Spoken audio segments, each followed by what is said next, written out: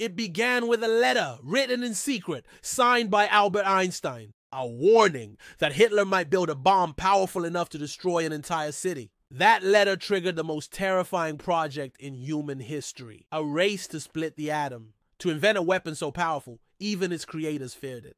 This is the true story of how we created the nuclear bomb and nearly destroyed ourselves in the process. Nazi Germany had just discovered nuclear fission, the ability to split uranium atoms and release unimaginable energy. Hungarian physicist Leo Szilard knew what this meant. The Nazis might be able to build a bomb, so he turned to the only man the US president might listen to Albert Einstein. Einstein signed a letter to President Roosevelt. In it, a chilling warning a single bomb of this type might destroy an entire port. The US government read the letter and the countdown began. The Americans launched the most secret project in world history the Manhattan Project, a $2 billion effort to build an atomic bomb before the Nazis could.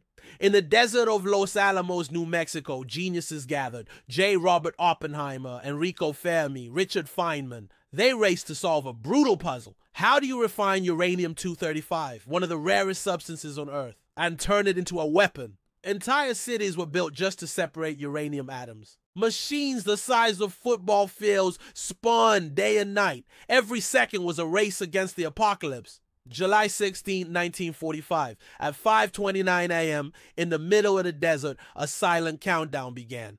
3 2 1 a blinding flash lit the sky. The ground shook. A mushroom cloud rose 7 miles high. Fig. The first nuclear bomb had just been born. Oppenheimer watched it in awe and horror. He whispered words from the ancient Bhagavad Gita Now I am become death, the destroyer of worlds. Less than a month later, the world witnessed the full horror. August 6th, Hiroshima. August 9th, Nagasaki. Over 100,000 lives lost in seconds.